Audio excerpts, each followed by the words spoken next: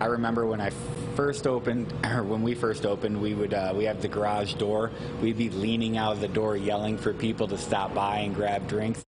That was back in 2013 when Detroit's first brewery, Two James Spirits, opened downtown. Now more breweries and distilleries are popping up in Detroit and counties across Michigan. To highlight the growing scene, Visit Detroit has launched a program called the Brew Trail. So many more breweries and, um, you know, beer-focused spaces are starting to open up from Saucy Brew to Detroit Beer Company right down the street. And um, I feel like every time I blink, there's a new one popping up. Participants can check in at more than 30 businesses. It allows people that wouldn't normally experience us to come in and try something that's not necessarily in their comfort zone. So far, Visit Detroit says over 1,500 people have signed up, including many from out of town.